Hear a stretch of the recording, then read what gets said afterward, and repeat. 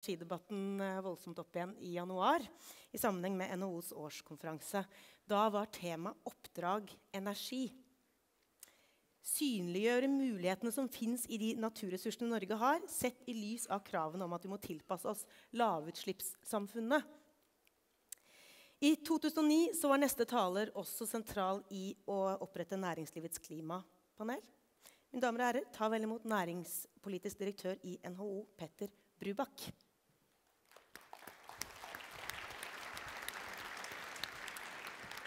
Tusen takk. Eh, en, eh, en, jeg skal kalle det lett ondskapsfull journalist skrev en gang at NHO hadde vært profesjonelt bekymret i 112 år. Uh, og la meg si at Er det et område hvor vi ikke er bekymret, men hvor vi er veldig opptatt av de mulighetene som Norge faktisk har, så er det nettopp energiområdet. Derfor Oppdrag Energi, da vi for vel tre uker siden hadde vår årskonferanse for å adressere muligheter for energinasjonen Norge. Så er det da slik at Da, da Ronald Reagan var amerikansk president, sa han i en tung stund til en, ja, sine rådgiver at han hadde foretrukket enarmede økonomer. Og Det var jo kanskje et litt rart utgangspunkt. Forklaringen var ganske enkelt at hver gang han mente han hørte noe han likte, eller noe han skjønte, så var økonomens umiddelbare respons 'on the other hand', Mr. President, og så kom alle motforestillingene det er vel riktig å si at energipolitikken er et område med ganske mange ulike innfallsvinkler, til dels reelle motstridende interesser og ganske ulike måter å se ting på.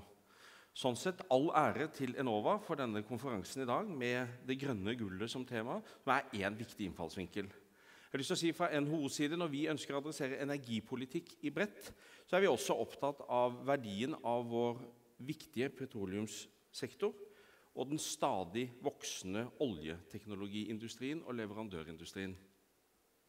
Vi syns også det er viktig fordi vi står overfor ganske mange usikre spørsmål, mange avveininger, og minne oss selv på at vi i hvert fall i tre faser i norsk historie har hatt en utvikling som er sterkt knyttet til energi. Det første er industrialiseringen av landet for vel 100 år siden med vannkraften. En annen fase er opplagt petroleumsvirksomheten og olje- og gassfunnene i Nordsjøen. Og en tredje fase er den globalt konkurranseutsatte, men sterkt konkurransedyktige leverandørindustrien, som i dag faktisk er en av Norges viktigste eksportnæringer, og som har vokst frem parallelt med utviklingen i Nordsjøen.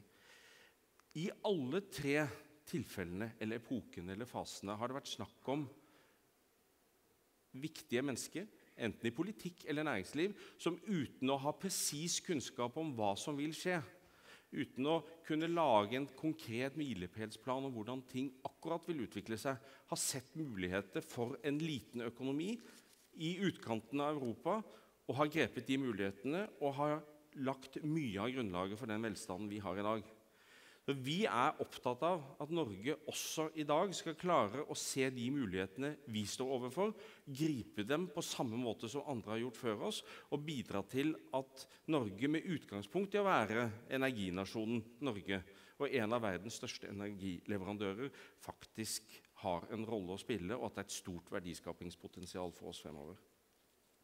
Så er det jo etter det med typisk norsk å være god, har vi kanskje vært litt usikre på om det er måten å eh, markedsføre oss selv på. Og jeg tror Vi skal være forsiktige med å fremheve oss selv som den beste i klassen. på noen områder, Men la oss ikke glemme at energisektoren i Norge sysselsetter om lag 300 000 mennesker. Og hvis man vil regne det på den måten, står for 85% av eksportverdien 30% av verdiskapingen i landet. Det er ganske formidable størrelser. Og vår oppfatning er altså at vi kan utvikle dette videre i stort omfang. Så, som eh, mange har, vil være klar over og reflektere over, så skjer dette mot et bakteppe i hvert fall på tre områder. Det ene er den globale utviklingen og fremveksten av de asiatiske økonomiene, som forrige foredragsholder nettopp snakket om. Det er greit å minne seg selv om at over 1 milliard mennesker fortsatt ikke har stabil tilgang til elektrisk strøm. Det kommer til å bli endringer i verdens energiforbruk. Det andre er at vi står overfor den antageligvis største omleggingen av energipolitikken og energisystemene i Europa noensinne, med betydelige konsekvenser for, også for Norge. Og til slutt vi står også oppi den antageligvis største økonomiske krisen som i hvert fall vår del av verden har opplevd siden før den annen verdenskrig. Med konsekvenser at, som at etterspørselen er lav, prisene dårlige, og krisen har slått tungt inn i realøkonomien med stigende arbeidsledighet i mange land, særlig i vår del av verden. I dette bildet så mener vi at eh, Norge likevel står helt unikt plassert til å kunne utvikle vår posisjon som leverandør av fornybar kraft og naturgass som bidrag til energiforsyningssikkerhet og til å nå klimamålene i Europa. Økende andel fornybar energi og nedbygging av tradisjonell kraftproduksjon i Europa gir økte behov for både fleksibilitet og ny kraft og en videre utvikling av reguleringsevnen i det norske vannkraftsystemet og det å trygge våre leveranser av naturgass til Europa kan dekke en del av et viktig behov. Det er en mulighet vi må ta med oss. Så er vi opptatt av at selv om Norge er forunt med naturressurser som har gitt oss veldig store muligheter, så har vi også et svært stort ansvar for å bruke disse på en mest mulig fornuftig måte. Selv om vår kraftproduksjon i all hovedsak er fornybar, kan vi også gjøre ting når det gjelder energiomlegging og energieffektivisering i vårt land. Lavutslippssamfunnet betyr både omfattende endringer i forbruks- og produksjonsmønstre, og det stiller større krav til effektiv ressursbruk, inkludert gjenvinning av energi og materialer. Og vi liker veldig godt et bilde som Per Otto Dyb i Siemens, en av våre medlemsbedrifter, pleier å vise om fremtidens strømforbruk og produksjon. Det øverste bildet jeg burde jo strengt tatt hatt det med meg, er at strøm produseres et sted og sendes dit den forbrukes. Det andre bildet er i fremtiden, hvor kraften vil gå mye mer i alle retninger. Vi vil bo i hus som kjøper strøm den ene timen, produserer strøm og sender det ut i nettet den neste timen, og hvor smarte løsninger og ny teknologi vil bringe oss over i en tid hvor alle kan bidra, og hvor man har stor innflytelse på egen energihverdag. Litt med dette utgangspunktet så har NHO prøvd å formulere det vi kaller Oppdrag energi, rundt fire overskrifter. Energi til Europa Fornybar eh, kraft som skaper nye industrielle muligheter. Norge som global teknologileverandør. Og altså smart og effektiv energibruk. Eh, jeg skal si noe om noen av disse tingene. Eh, tiden tillater neppe å gå inn i alle detaljer. Jeg anbefaler Oppdrag energi, som ligger på NHOs hjemmeside for de som er interessert i helheten i vår tilnærming. La meg fortsette litt med det vi ønsker å fokusere på når det gjelder energieffektivisering og smartere energibruk. Vi er opptatt av at næringslivet kan bidra med å heve kompetansen innen energieffektivisering, heve kompetansen innenfor smart energibruk og bidra til miljøriktig bygging i alle ledd i verdikjeden. Vi er opptatt av å videreutvikle mulighetene for kommunikasjon og samspill mellom energibrukere og produsenter vi er opptatt av å utvikle nye systemer og nye forretningsmodeller for energitjenesteleverandører, for energieffektivisering og for smart energibruk. Og vi er opptatt av å få frem nye, bærekraftige og fremtidsrettede bygningstekniske og tekniske løsninger. Vi vet alle at EUs mål for energibruk er at den skal ned med 20% innen 2020. Vi er overbevist om at Norge også har store muligheter til å hente ut effekter av energieffektivisering i eksisterende bygg og kanskje særlig gjennom å utvikle byggemetoder og teknologier som vil utnytte energien vår langt mer effektivt i dag. Men Det vil altså ikke komme av seg selv, og vi krever at vi har en målrettet politikk som eh, har klare ambisjoner og bruker samfunnsøkonomisk lønnsomme virkemidler for å komme dit vi ønsker. Energieffektivisering og økt kraftproduksjon som følge av de grønne sertifikatene vil sannsynligvis lede oss mot et kraftoverskudd i Norden om få år. Og For oss når vi er opptatt av mulighetene, er det opplagt viktig å diskutere hva kan denne kraften brukes til. En del av debatten etter vår årskonferanse har jo dreid seg om behovet for ytterligere mellomlandsforbindelse, der mange tilsynelatende er skeptiske. Først alt så kan det være viktig å minne om at Norge allerede i dag er en stor leverandør av balansekraft i Europa gjennom etablerte mellomlandsforbindelser, og flere skal bygges. Vår agenda har vært å sette søkelyset på at Norge er særlig godt posisjonert for å utnytte de mulighetene som omleggingen i de europeiske energisystemene representerer. Det opplagte er jo at foruten et sterkt økende behov for en kraftreserve når solen ikke skinner og når vinden ikke blåser, får europeerne et tilsvarende stort fornybart og ikke-regulerbart kraftoverskudd. Vi mener at norsk Norge kan være med på å støtte det europeiske energisystemet, som blir stadig mer utsatt for variasjoner når andelen av uregulerbar energiproduksjon øker eller faller. Det er mulig å tilføre overskudd til Norge takket være vannmagasinene, eller i motsatt eksportere eller bruke vår naturgass som balansekraft. Men det vil altså kreve en aktiv tilnærming til hvordan vi organiserer og investerer både i kraftsystem og nett, og ikke minst etablere kommersielle løsninger. Det er ikke et spørsmål om å subsidiere Europa hvis de ikke orker å bygge ut sin egen fornybar. Det er ikke, som noen har sagt, snakk om et frislipp av uh, mellomlandsforbindelse. Det er snakk om en balansert utvikling for å se på hvordan vi kan utnytte et potensial som kan bli betydelig for Norge. Og Det er særlig viktig å forstå tror vi, at det ikke først og fremst dreier seg om kjøp og salg av energi, altså import og eksport, men også det å stå som garantist for og være beredskap for under- og overskuddssituasjoner hos andre. Fordi våre vannkraftmagasiner og vår naturgass foreløpig er den eneste effektive energibanken for fornybar elektrisitetsproduksjon. Da blir det selvfølgelig viktig hvordan vi organiserer og tenker rundt dette. Vi er opptatt av at det må være mulig for kommersielle aktører som slipper til.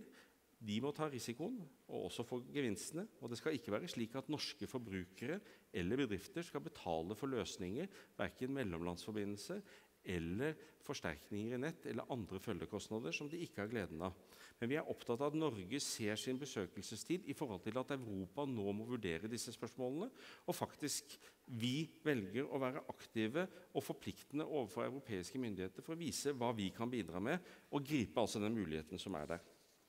Vi tror faktisk at dette også er viktig for industrien, at den vil også kunne tjene på en type kommersialisering av mellomlandsforbindelsene. Vi er opptatt av vår kraftforedlende industri, og at den har en rolle i Norge fremover. Norge er en stor og viktig produsent av energieksport i fast form. Og vi tror det i en internasjonal og global klimatenkning opplagt vil være bedre løsninger at vi med vår energieffektive og ressurseffektive måte å produsere på faktisk står for en del av produksjonen, fremfor at den eksporteres til land som har mindre energieffektive og ressurseffektive løsninger og betydelig større klimautslipp enn vi har. Men igjen, det vil også kreve en sikkerhet for den samme industrien at det er rom for den i Norge fremover. Så oppsummert vi mener det er viktig å ta fornybar kraft i bruk til industriell utvikling og i konvertering fra fossil til fornybar energi. Og En global arbeidsdeling mener vi tilsier at selv om økt industriproduksjon i Norge kan medføre isolerte økte nasjonale utslipp, vil det kunne være klimamessig gunstig når det fører til globale utslippsreduksjoner. Det er også er verdt å nevne og dvele ved det jeg nevnte til å begynne med, at vi faktisk altså har utviklet en global leverandørindustri i verdensklasse som konkurrerer i markeder vi knapt hadde tenkt at norske bedrifter skulle være i, hvor vi gjennom det samspillet vi har hatt i den norske petroleumsnæringen mellom utbyggere og industri, så har klart å utvikle et stort antall konkurransedyktige arbeidsplasser, spesielt, spesielt, langs kysten, som i dag bidrar betydelig til eksport og verdiskaping. Eh, når vi i NHO ofte i disse dager snakker om tosporsøkonomien i Norge, hvor vi altså ser at en del av økonomien eh, er knyttet til petroleumssektoren, enten i produksjon eller leverandørindustri, og har etter forholdene og svært mange bedrifter veldig god lønnsomhet og betydelig aktivitet, så ser vi at store deler av den tradisjonelle eksportindustrien og fastlandsindustrien for øvrig har det veldig vanskelig. Eh, det betyr at det at vi i dag i gjennomsnitt kan si at norsk økonomi gjør det veldig godt, for en stor del skyldes at vi har klart en vellykket satsing på mer enn olje- og gassutvinning i Nordsjøen, men faktisk også bygget opp en global leverandørindustri. Det er et viktig premiss å ta med seg fremover for oss i en situasjon hvor altså markeder og priser ute er veldig vanskelig for store deler av vårt næringsliv. Hva er så en forutsetning for å kunne utnytte disse mulighetene? Det ligger naturligvis i kompetanse og bruk av ny teknologi. Vi klarer ikke dette uten de gode hodene. Og Tilgang på kompetent arbeidskraft blir en stadig større utfordring for norsk næringsliv. Hvis vi spør NHOs medlemsbedrifter og ikke går inn på enkelte bransjer, så svarer et flertall at mangel på kvalifisert arbeidskraft er det største hinderet for å investere i Norge. Ja, så Går man inn på noen bransjer, vil man se at dårlige priser og høyt kostnadsnivå blir viktigere. Men spør man alle typer bedrifter, så er altså mangel på den kvalifiserte arbeidskraften det største hinderet. Og Da blir åpenbart satsing på utdanning kompetanseutvikling avgjørende for om vi skal klare å realisere de mulighetene som ligger foran oss. Da blir det et spørsmål om hvordan vi skal få de riktige menneskene til å ta den utdannelsen som bedriftene kommer til å etterspørre. Det handler ikke bare om ingeniører, men om fagarbeidere som kan håndtere kompliserte prosesser på små og store anlegg, og mye annen kompetanse til mange typer virksomhet. Det vi vet som er generelt, er at fremtidens samfunn vil stille høyere krav til både teknologi, ressurseffektivitet og bærekraft. Og stadig flere mennesker vil måtte bruke stadig mindre ressurser hvis det faktisk skal gå rundt. Derfor er vi veldig opptatt av, og det er naturlig å snakke om det i Trondheim med NTNU som uh, mer eller mindre nærmeste nabo, at koblingene mellom utdanningspolitikken og næringspolitikken må styrkes, slik at vi utdanner de menneskene vi faktisk trenger, og som arbeidslivet vil etterspørre. Da er naturlig nok mangel på kompetanse innenfor realfag noe som opptar og bekymrer oss sterkt. Vi er hos Enova, og for mange av NHOs medlemsbedrifter er Enova en viktig eh, samarbeidspartner eller alliansepartner som bidrar til å realisere viktige klima- og miljøprosjekter, og som antageligvis eller kanskje ikke vil bli til uten Enovas ordninger. Så tror vi at i energi- og klimapolitikken trenger man ytterligere verktøy for å komme videre.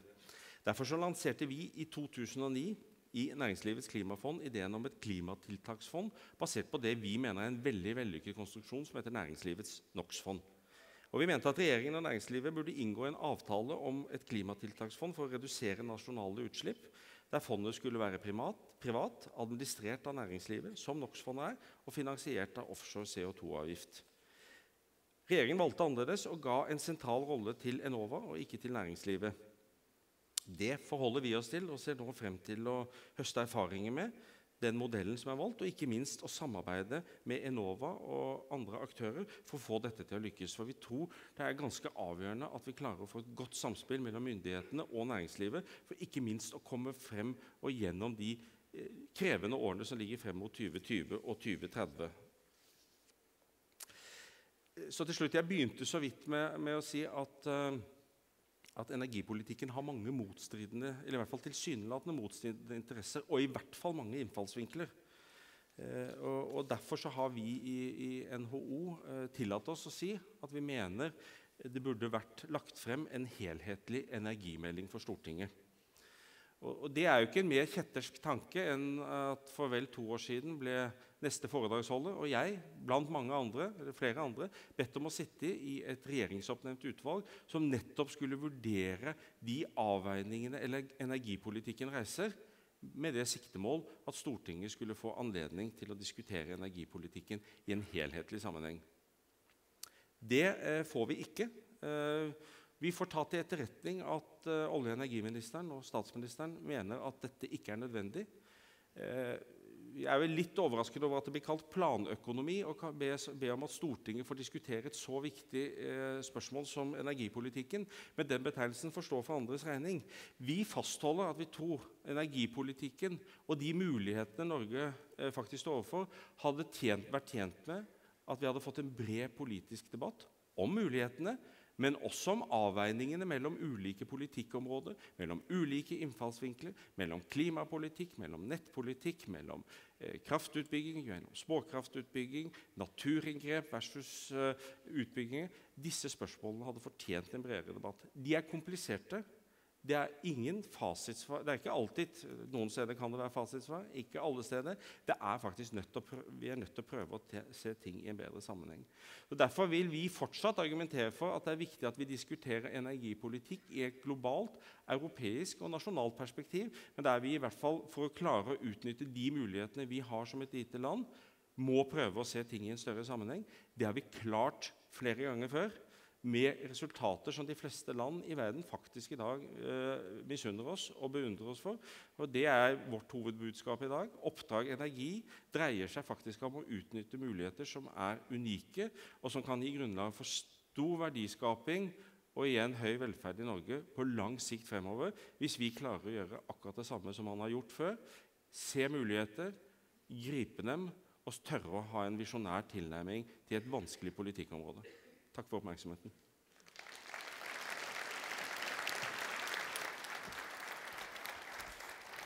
Takk, takk skal du ha. Takk.